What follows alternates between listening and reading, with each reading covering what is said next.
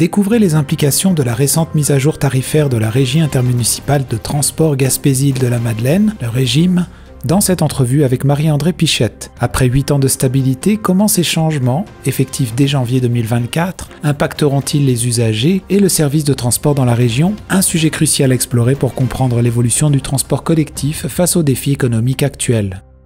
Ben, J'avais une question bien simple, c'est déjà comment est-ce que vous avez fait pour ne pas augmenter depuis 2015 jusqu'à aujourd'hui, pour réussir à garder vos tarifs euh, aussi longtemps euh, euh, ben, dans, à la régime? Ben, en fait, pour une organisation, c'est quand même un, processus administratif complexe d'augmenter une tarification. Donc, c'est vraiment une option qu'on garde de dernier recours pour augmenter les revenus d'une organisation de transport. Donc, comme le, territoire est grand, la tarif, l'étalement est important. Donc, c'est quand même une grande action à entreprendre. Donc, euh, comment on a fait, l'organisation a toujours été en très bonne santé financière jusqu'à la pandémie. Euh, ou depuis, là, comme beaucoup d'autres euh, organisations, puis on entend parler là, sur la, je dirais la, sur la scène nationale présentement avec les sociétés de transport, la régie ne fait pas exception là, à la vague de, de, de problématiques financières qui existent là, en transport en commun.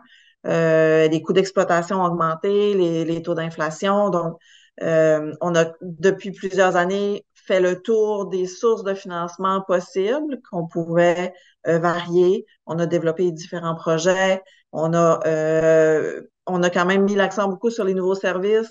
Donc, il y a eu une augmentation d'achalandage qui a augmenté notre, euh, notre, la contribution du ministère des Transports dans l'organisation. On a augmenté aussi les codes part des, des MRC et des municipalités qui contribuent à la, au financement de la régie. La dernière option qui restait à la fin d'assurer la pérennité de l'organisation était bien sûr d'augmenter la tarification. Comment est-ce que justement vous, vous faites pour euh, parce que depuis 2015 jusqu'à aujourd'hui c'est passé bah vous l'avez dit c'est passé une pandémie. Il s'est passe il se passe en ce moment beaucoup de aussi au niveau de l'inflation euh, pour que ce soit pas trop violent entre guillemets là. Comment est-ce que vous avez travaillé ça pour euh, et puis et puis à quoi on, on, on s'attend justement au niveau de l'augmentation? Euh, c'est une, une, augmentation qui est quand même importante si on, prend le ratio. Par contre, comme on, le dit, on n'a pas augmenté les tarifications depuis 2015, donc on a quand même un rattrapage à faire sur le coût en général d'un transport en commun au Québec.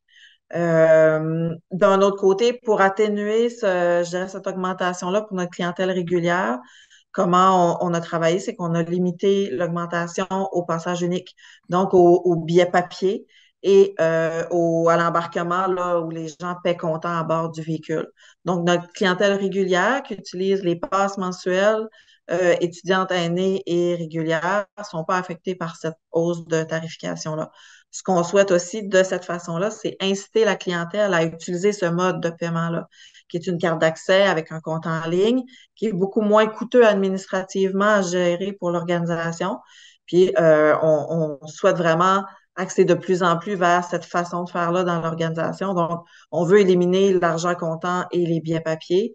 Donc, d'appliquer une hausse sur ces outils-là et non pas sur le reste de notre mode de paiement était aussi un, je pense, un incitatif important, puis mm. une façon d'épargner notre clientèle régulière. Et cette carte d'accès dont vous parlez justement, et on peut se la procurer de quelle façon? Ben, la carte plastique est euh, disponible euh, auprès de tous les chauffeurs, puis dans les points de service de l'organisation. Euh, il n'est pas nécessaire d'avoir la carte d'accès plastique pour fonctionner. On peut avoir ce qu'on appelle un compte virtuel puis une carte virtuelle. On va sur le site de la régie, on se crée un compte d'accès, puis on fait des achats en ligne. Et avec simplement le numéro de carte, le numéro de carte qui est, attribué de carte virtuelle, on peut à bord euh, appliquer les paiements, mais principalement, on peut aussi l'associer avec la carte plastique qui est disponible dans, les, dans les véhicules puis auprès des, bureaux de, la régie. Et puis concernant justement la validité, la validité des anciens billets, juste un peu peut-être un petit mot là-dessus pour ceux qui seraient procurés des billets avant l'augmentation, comment est-ce que ça marche? Ben, en fait, euh, les billets qui sont euh, en circulation vont être en tout temps acceptés. Il n'y a pas de date d'expiration mm. sur nos billets. Ils ont une valeur financière. Donc, euh, on, va, on va accepter ces billets-là sans problème. Même jusqu'à récemment, on acceptait encore les billets de l'ancienne tarification d'avant 2015. Euh, étonnamment, une fois de temps en temps, on a un billet de, de, de, cette époque-là qui ressort sur le réseau. Cette tarification-là sera plus acceptée à partir là, du 1er janvier, mais les billets là, qui sont présentement encore actifs, qui vont être en vente jusqu'au 31 décembre, euh, vont être acceptés jusqu'au prochain changement tarifaire. Vous avez parlé tout à l'heure justement de que suite à la pandémie, il y a eu comme vraiment une baisse au niveau de, de, de la régie. Est-ce que euh, c'est quelque chose qui reprend un petit peu du, du, poil de la bête avec le temps? Est-ce que les gens se réapproprient euh, ce, ce, mode de transport? Oui, euh, depuis l'an passé, on a vraiment une augmentation majeure là, au niveau de, de l'achalandage. On a presque rattrapé la, la, perte d'avant d'avant pandémie. Euh, cette année 2023 est encore une année encore plus euh, demandante que 2022. Donc, on, envisage encore un, step au niveau de, l'augmentation de l'achalandage.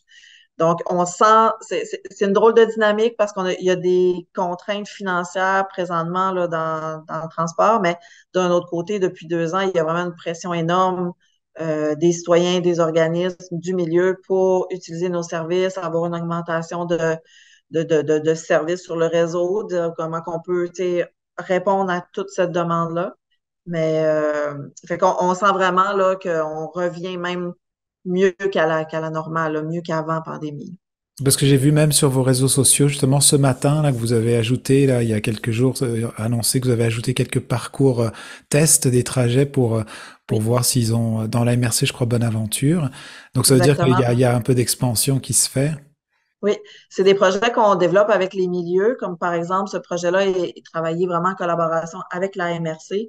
On a eu euh, deux financements, là, euh, je dirais, autres que le, des financements qu'on reçoit pour le fonctionnement de la régie, qui est un, financement de la MRC, de son FRR, puis un fonds euh, du programme MADA qui est lié au ministère des Transports. Donc, avec ces, cet argent-là qui a été qui a été mis dans l'organisation, ça nous permet d'offrir ce service-là qui vise deux clientèles particulières là, de la MRC, puis qui nous permet de faire un test en projet pilote euh, du trans, ce qu'on appelle du transport à la demande. Donc, euh, de, de, construire un peu un service en fonction des besoins de la clientèle.